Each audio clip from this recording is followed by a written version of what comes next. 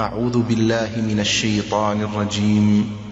بسم الله الرحمن الرحيم.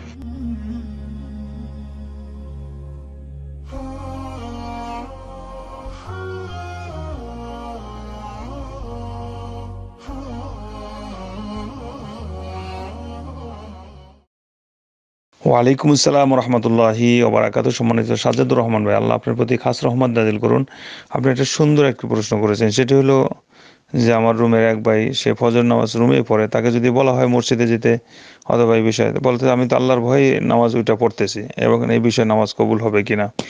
আলহামদুলিল্লাহ, ওসালাত ওসালাম আল্লাহ রসুল্লাম আবাদ সমস্ত সাজাদুর ভাই, আল্লাহ সুবাহতাল আমাদেরকে পাঁচক্ত সলা জামাতের সাথে আদায় করার তৌফিক দান করুন, আমিন।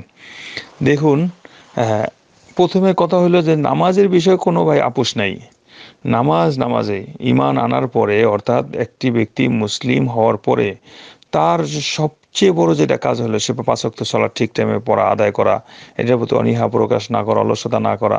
নামাজ পড়ে অলসতা করলেও যে তার জন্য শাস্তি হবে এবং তাকেও জাহান নামে যেতে হবে, এটাও তো আপনি কোরআন থেকে শুনেছেন। আমরা বেশ আলোচনা করেছি, আমাদের বিজ্ঞ বড় আলেমোলামা এগুলি বারবার বই, পুস্তক লিখেছেন।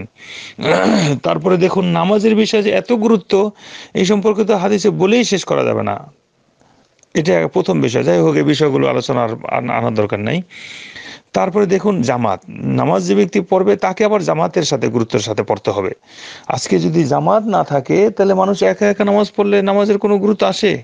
নামাজ ইতমিনা থাকবে না, নামাজের মাসলা মাসাইল জানবে না, নামাজের বিষয় জানবে না, মসজিদে যাবে না, মসজিদের ভালোবাসা থাকবে না, মায়া থাকবে না, মানুষের সাথে দেখা সাক্ষাৎ হবে না, মানুষের সাথে ওটা বসা চলবে না, কেউ তার পরিচয় জানবে না, কেউ খোঁজ খবর নেবে না। আল্লাহর ফেরেস্তারা মসজিদে নয়। আল্লাহর ফেরেস্তারা ফজরের সময় ফজরের সময় এবং আসরের সময় দুই দল আসে। একদল উঠে যায় একদল আসে। আবার একদল উঠে যায়, আসে। এটা বুখারির হাদিস, দেন ইয়ে তা কাবুফি কোন মালাই গেত যে কে নামাজে আসলো, কে নামাজ পড়ল না, কে কি করল।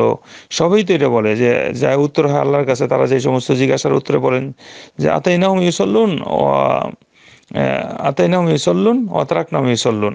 আহকামা কল সাল্লাহ আসলাম যে আমরা যখন যে তাদেরকে সে আসছি, দেখছেন, বা যাদের কাছে গেছি, যাদের, যা দেখছি নামাজ অবস্থায় পড়তেছে, বা নামাজ অবস্থায় গেছি এবং সেরে আসছি নামাজ অবস্থায়। তারপরে জামাতের প্রতি আল্লাহ কত গুরুত্ব সহকারে বলেছেন ওর কাউ মার রকিন, রুকুকারীদের সাথে রুকু করো। তারপরে নাবি সাল্লাহ আসলাম এই হাদিসের মধ্যে কত গুরুত্বের সাথে বলেছিলেন যে, আমার মনে হয় লাকাত হামাম তো না মুরাবি হাতাবিন আমি আদেশ করব যে, একদল লোককে যে তারা লাকড়ি জমা করবে, একজন ইমামতির দায়িত্ব দিব এবং আমি লাকড়ি খড়ি নিয়ে ওই সমস্ত ব্যক্তিদের ঘর বাড়ি পুড়িয়ে দেবো যারা জামাতে আসে না। এবার বুঝেন কত গুরুত্ব দেওয়া হয়েছে। তারপরে আপনি আব্দুল ইবনে উম্মে মাকতুম রাজিল্লাহ রাজিল্লাহ তালা আনহু, সাহাবি, অন্ধ সাহাবি, তার কোনো এমন ব্যবস্থাপনা ছিল না, ধরে নিয়ে আসার মতো রাস্তার এরকম পজিশন ভালো ছিল না। তারপরও নবী সাল্লাহ আসলাম তাকে জামাতের আশাবাদ দিয়া ঘরে একা একা নামাজ পড়তে অনুমতি দেননি। বলেছিলেন যে, লা জিদুল আকা রোকসা আমি তোমার জন্য কোনো অনুমতি পাচ্ছি না। অথবা বলছিলেন, আজিব, তুমি ডাকে সারা দাও আজানের শব্দে, আর নামাজে আসো। হাই আল্লাহ সাল্লাহ হাই আল্লাহ ফালা বলে, কি ঘরে নামাজ পড়তে বলা হয়? হাইয়ার অর্থ কি? আসো, নামাজার প্রতি আসো, কল্যাণের দিকে আসো। মসজিদে ডাকা হয়। যে ব্যক্তি জামাতের সাথে নামাজ পড়বে আর একা নামাজ পড়েছে সাতাইশ গুণ সব জামাতে মসজিদে গেলে মসজিদের প্রতি ভালোবাসা হবে এবং মসজিদে যাওয়া, আসা একটা করে কদমে কদমে সব লেখা হবে, মর্যাদা বাড়ানো হবে গুণামাপ করা হবে, সদ্গার সব হবে, আসা এবং যাওয়া এগুলি। তারপর মসজিদ, আল্লাহ রসুল সাল্লাহ আলাইসাল্লাম মসজিদের প্রতি গুরুত্ব কেন দিয়েছেন?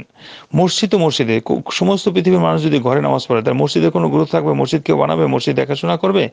মসজিদকে তারাই আবাদ করে নামাই আমুর মাসাজিদ আল্লাহ মানা আমানা বিল্লাহ হলিয়াকে ওয়াকামা সালাত আলম ইয়াকশা ইল্লাল্লাহ। মসজিদে যারা নামাজ আবাদ করে, তারাই তো মসজিদ আবাদত বন্দী করবে, আল্লাহকে যারা ভয় করে। আর গড়ে নামাজ পড়ার কি? ঘরে নামাজ পড়ার শয়তানি একটা অসহায় চক্রান্ত অলসতার একটা বহিঃপ্রকাশ সেখানে হ্যাঁ সাধারণ অলসতা দিয়ে ঘরে একা একা নামাজের কোনো ইয়ে আছে নাকি? আল্লাহ রসুল আরেকটা সাল্লাহ আসলামের একটা হাদিস এখানে পরিষ্কার, যে মান সামিয়ান নেদা ভালা মিয়া তিহি ফালা সাল্লাহ তালা ইল্লামিন হসরিন যে ব্যক্তি কারণবশত কারণ ছাড়া, কোনো কারণ ছাড়া ঘরে নামাজ পড়বে, নামাজ হবে না তার। ফালা সাল্লাহ তালা নামাজ নাই তার। এই এই যে হাদিসের মধ্যে কত সতর্ক বাণী এখানে উচ্চারণ করা হয়েছে। ঘর তো ঘরে একা একা আর জামাতের বিষয়টিতে আলাদা আলাদা জিনিস। সুতরাং যারা এই সমস্ত বিষয়ে অলসতা করে, দেখেন জামাতে নামাজ পড়ে ফজরের নামাজ বেশি করে। আর ফজরের নামাজের যে কত গুরুত্ব রয়েছে সেগুলি তো আলোচনা আর একটা প্রাসঙ্গিক বলে বিভিন্ন বয়স হয়ে যাবে। ফজরের নামাজ যে ব্যক্তি মসজিদে আসবে বাশিরিল মাসা ইনা বিদ্দলামি ইলাল মাসাজিদ বিন নূর ইত্তামি অমল কিয়ামতে। হাওকামাকাল্লাহ সাল্লাহ সাল্লাম যে ব্যক্তি মসজিদে অন্ধকারে পথ চলে, তার জন্য কালকে আমাদের মাঠে পরিপূর্ণ নূরের সুসংবাদ দাও। তারপর ফজর নামাজ জামাতের সাথে পড়ে যে ব্যক্তি মসজিদে বসে থাকবে, তার সলাতুল ইশাক পড়বে, তার জন্য পুরো একটা হজ এবং উমরার সওয়াব পাওয়া যাবে। যে ব্যক্তি শুক্রবার ফজরের নামাজ জামাতের সাথে আদা করবে, সেই ব্যক্তির ব্যাপারে বলা হয়েছে সবচেয়ে উত্তম নামাজ হলো শুক্রবার দিন ফজরের নামাজ জামাতের সাথে আদা করা। তা জামাত তো জামাতেই, মসজিদ তো মসজিদেই। এদের যারা আসে না, তাদের ব্যাপারে আলোচনা করে কি করবে? আল্লাহর কাছে দোয়া করে, আল্লাহ তাদের হাদায়ত দেখ।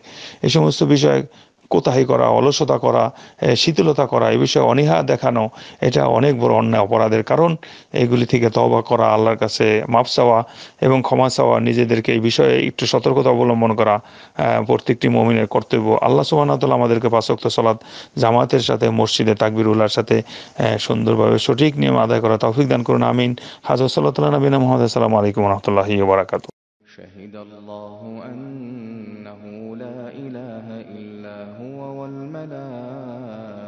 والملائكة وأولو العلم وأولو العلم قائما بالقسط لا إله إلا هو العزيز الحكيم إن الدين عند الله الإسلام وما اختلف الذين أوتوا الكتاب إلا من بعد ما جاء